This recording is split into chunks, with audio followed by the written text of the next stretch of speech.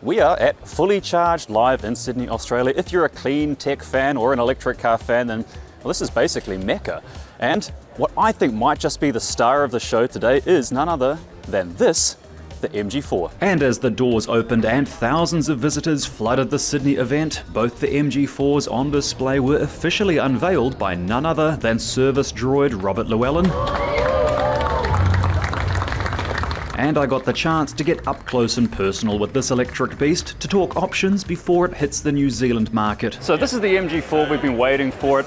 I can't tell you the price and the range yet because I don't know the price. Range, however, I've got some good news. This one is going to come in two battery pack sizes. We have 51 kilowatts, which will give you 350 kilometers per charge maximum, or 64 kilowatts, and that's going to give you up to 450 k's per charge. But there's a lot more going on. This thing will actually charge fast as well. The large battery version will charge at apparently 135 kilowatts, which is not bad for a bargain price vehicle. Well, if I can figure out the price before the video goes live, I'm going to put it in the box in the corner of the screen if not, then you have to wait and see. But we will find out this vehicle is going to hit the New Zealand market sometime likely in the second half of this year, so stay tuned. With its range and price of around 55 grand after the rebate, this MG4 could be a game changer in Aotearoa, the land of the long line of electric cars. It looks great, actually it looks excellent in person, as you'll see soon enough, and it's also quick and likely to be a lot of fun, with 150 kilowatts at its rear wheels, and it's going to be loaded with features, plus it has a dual motor version coming too, with a 0 to 100 time of 3.8 seconds. I'll get my hands on one in New Zealand soon enough, so press the subscribe button as not to miss that. Another just revealed car at the event though was the MG ZS EV Long Range, now available in the New Zealand market. It's the same updated MG ZS EV that I've already reviewed in detail, so check that video out, but this one has a 72 kilowatt hour battery pack, giving it 440 k's per charge, and and after the rebate, Kiwis can buy one right now for 56 grand. But this first Southern Hemisphere fully charged, likely to be a yearly event now, had much more on display, including my personal favourites, electric car conversions in all shapes and sizes. One other thing that I really love is electric car conversions, and they have heaps of conversions all dotted around the uh, info centre here. What I want to show you is this one. It's a boring old Mazda, right? But you pop the hood, come have a look underneath. Pop the hood, we've got a 150 volt system with Zilla controllers built in. You don't see many of those anymore. But wait, there's more. Come check this one out. Is it DC or AC? DC. DC system, but we're using lithium batteries. Oh, the Zilla 1K, gosh, I remember when those came out. They were amazing machines. Well, 1,000 amps maximum, isn't it? Fantastic. It's 27 kilowatt hours. 27 kilowatt hours and split into how many in the front and the back? 36 in the back, um, under the uh, under here in the battery box and nine in the front. And that's that's a big battery for a normal size sedan. What sort of range are you getting out of this? Um, on the highway, 160. Uh, around town, about 110.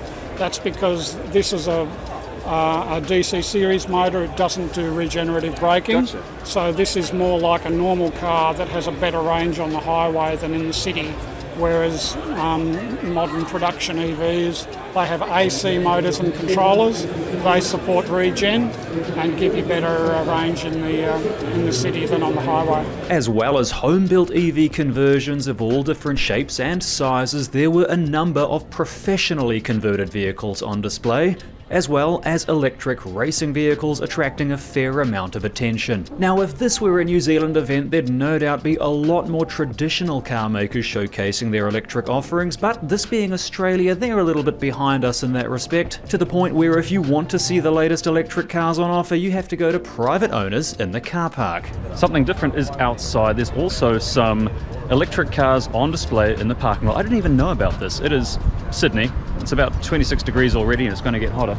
But check out some of the machines we've got on display. Obviously we've got the Tesla Model 3, my second favorite car of all time. We've got the Model Y, we've got the Kona, we've got more Konas, Model Y, that's the XC40, that looks like the P6, that is the Nissan Leaf, and of course the i3. There were also non-stop panel discussions the entire weekend, and they seem to have run out of quality guests because they even asked me to take part in one discussing my favourite electric cars the, the Ioniq 5. Really nice. Everything about just it, the angles, it looks like Lara Croft did back in 1997. pointy.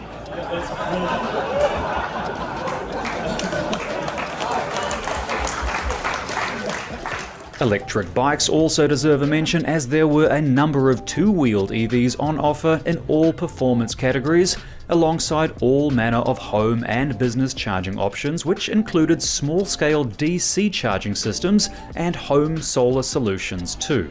And one little cherry on the top was the new Cupra Born, or is it Cupra? An electric car from Volkswagen Group coming to New Zealand in about six months from now. It's essentially a sexier ID3, so hit the subscribe button for that as I'm really looking forward to putting it through its paces on Kiwi roads. But all in all, Sydney's first annual fully charged live event had enough content to satisfy most EV enthusiasts, with a surprising number of Kiwis on site, including me flying the flag for Ecotricity, our country's only only climate positive electricity provider. That means if you join up, you're not only getting competitively priced power, but you're actually turning back the clock on climate change, and that is a big deal. And that is the end of Fully Charged Live here in Sydney, Australia. This has turned out to be a much bigger event than I thought it was going to be. Everything from electric car conversions on display to unveiling of new models like the MG4. Quite looking forward to seeing that in New Zealand in a few months. Hopefully, Fully Charged Live is going to come back to Sydney very soon because I'd recommend checking it out. If you're a car fan or an electric car fan or even just a clean tech fan, you'll get something out of this event, I guarantee it.